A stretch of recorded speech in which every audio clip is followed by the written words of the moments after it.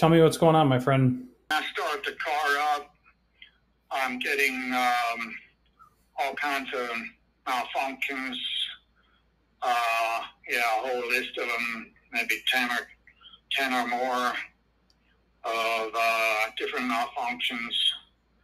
It runs and drives, but yeah, even uh, yeah, all kinds of malfunctions, headlights, pre-collision system, and you name it. It's uh, just about everything you can think of. Um, so yeah, I didn't know uh, where to start looking. So what you're going to want to do is start by checking the fuses. Yeah, I I did did that. Okay, so if the fuses are good, then I would recommend that you make sure that the, the battery passes a load test and you want to make sure the alternator isn't under or overcharging. And if all that checks out good, then somebody needs to plug into the computer system using a compatible scan tool to check for codes and communication in all of the modules, all the computers on board the vehicle. You could start by using a basic code reader and checking the engine control module for codes and communication, that would be a good place to start. Okay. Can I buy a scanner or a Yes, you can. DE2 scanner? Yep. Yes, you can. Um, Yeah, you can actually you can get one on Amazon. You can just order one on Amazon and have it delivered right to your door. So you don't need you know to check the engine control module, you don't need a you know an expensive scanner. You just need a basic code reader. So you can get one on Amazon for 20, 30, 40 bucks, something like that. okay. Yeah, I do have an appointment uh, to somebody to plug it in and check it out. But it's in a couple, you know, almost two weeks. I just thought I got the time. Maybe I'll see if I can figure it out. Yeah. Uh, So when you check the battery voltage, if you have a voltmeter, if you don't have one, you can get one for really cheap. If you, you know, once you, when, yeah, I do. I do have a Okay. voltmeter. Actually didn't. I had my battery charger on and it charged up to 100%. So I figure the battery's good. well, keep in mind, so the battery charge and a battery, you know, getting load tested, those are two different things. Just because it's charged doesn't mean Okay. mean that the battery is good. Okay, so I should check, make sure I have 12 volts. Well, yeah, you need to load test it, and then if that checks out good, you could still use the, the, the voltmeter to check the charging system voltage when the engine's running. You're going to want to see it at, at about you know 14 volts or so. 14 volts. Yes, sir. okay. But um, yeah, you're saying that actually check the battery. It would be need, need to be load tested. Yeah, I don't I don't have a tester for that. Um,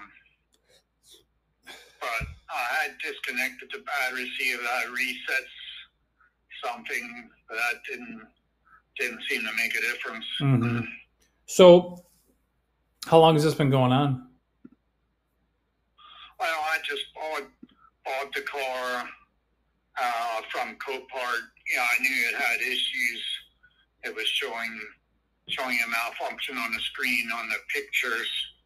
But I didn't know it's going to have that many malfunctions. But it might all be related to one problem. Who knows? Uh, Right. so, yeah, I guess I could probably take the battery out and get it, go get it checked, make sure we have uh, good battery, I guess. You you could do that, and as a technician, I I probably I would just you know just load test it just to be sure. It doesn't sound like the battery is the problem. It sounds like we have Okay. either a blown fuse or you know um, multiple codes stored in the computer, maybe a communication issue with one or one or more of the computers on board the vehicle. Okay. But the only way to know for So sure check- would be to check the. Yeah, I'm. I'm not sure if I checked all the fuses. Maybe I should should check all of them, make sure. Yes, sir. Um, one thing I found uh, on the small small fuse box, what it has just two fuses in and one relay, and it said uh, VVT relay, and that relay wasn't plugged in where there was even connections for it. And right beside it, there was a connection for a relay. So I thought maybe that's where that's where it belongs. Right. Uh, but that didn't seem to make a difference. Uh, VVT, I guess, stands for variable valve timing. Is that correct? EVT.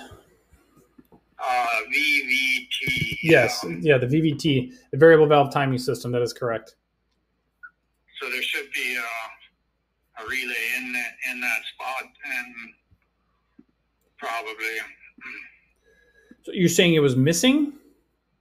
Well, it was off to the side of that spot where there was even no electrical connections for a relay. Uh, it was an empty spot. But well, the last I checked, the VVT system, uh, I don't, I just can't remember off the top of my head that a VVT system would use a, a relay. Why would it use a relay? That, that's what that spot says on the lid. Yeah, but I've never, I've never. Yeah. So what would it says for a relay, Yeah, I gotcha. VVT. So Oh, I here it is. I, you know what? You're right. I do, I do see it in the diagram. So there's a VVT fuse, and there's a VVT relay. But do you think somebody just walked up and pulled it out? Well, yeah, I didn't know if somebody pulled it out and put it in the wrong spot. Or, mm-hmm. Okay. Was there you never know with these with these vehicles that you buy from Copart. You almost wonder somebody mess mess with them and just pass them on to the insurance company just so they can have another vehicle or something. I had a case already where I bought a vehicle and disconnected the battery and reconnected it and everything was fine. Yeah. Uh, so Well, let me ask you this. So was there any work done to the vehicle recently? I do not know that. How long have you had it? Well, I just I just got it here a couple of days ago. Oh, okay. All right, I gotcha. So, So yeah, it run it runs and drives, but it uh, cycles all kinds of um, uh, functions. Keeps cycling through the screen and the dash, okay. and yeah, the even the RPM needle is not working, and I also think the temperature gauge is not working.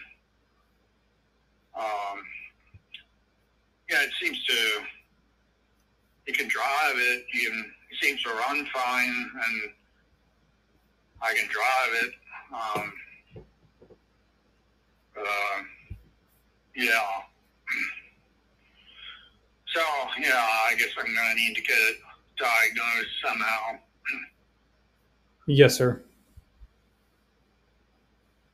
Would you like me to connect you with a with a mobile mechanic or a shop in your area? Would that help out? No, that's fine. I I have a have a guy that has me on his schedule, and he he claims he can probably do as good as a Toyota dealer can. So I guess I'll just wait wait for him if I don't get it get anything figured out. Right, and he'd probably probably be able to do it to fix it for a lot cheaper than the Toyota dealership as well. Uh, yeah, that's what I figure. They're pretty good. Okay. So Any other questions while we're on the phone, my friend? Guess not. Well, thanks thanks for your thanks for your help. All right, it Um, sounds good. If anything comes up, you can just reply back online. I'll be happy to help. Okay. Okay, thank you very much. You're welcome. Yep. Bye bye. Mm, Bye.